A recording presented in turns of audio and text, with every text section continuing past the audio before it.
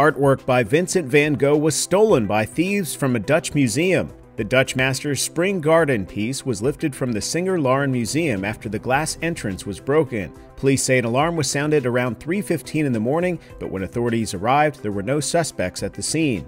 Investigators say they are still looking over the forensic evidence as well as security cam footage. The valuable Van Gogh painting was completed in 1884 and had been on loan from another Dutch museum. Whether intentional or not, the date of the robbery coincided with the artist's birthday, with Van Gogh born on March 30, 1853.